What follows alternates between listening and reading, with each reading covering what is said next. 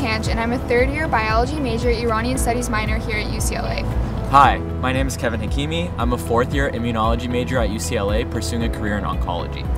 Being a pre-medical student, especially at UCLA, requires a lot of hard coursework.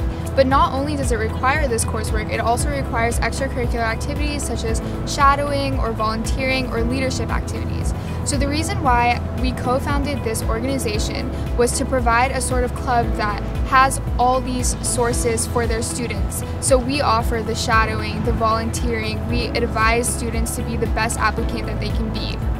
PMA is also an organization that tries to connect students to the greater Persian community of physicians and researchers in the Los Angeles area. My name is Parsa Vizunia and I'm a second year undergraduate neuroscience major at UCLA. I decided to become a part of the Persian Medical Association team because of my deep connection with my culture and the unique learning and leadership environment that the association provides for its students. Not only does the association educate students, both Persian and non-Persian, about Persian culture, but it also provides the resources, knowledge, and inspiration that is needed to pursue a successful career in medicine.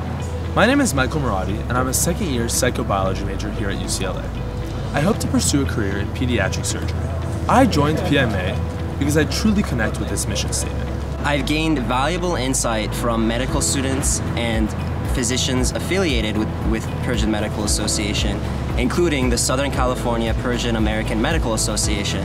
And I hope that I may one day enter medical school and pursue a career of medicine of my own and provide the same guidance and advice that is being offered to me.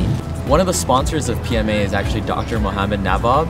He works in cardiology at UCLA. He's really helped our organization grow from um, a small kind of organization of a few people to something that we envision. We love that our organization has grown from just an idea that we had to this larger picture that everyone has been so helpful helping us with and we're really looking forward to the forward direction of our organization.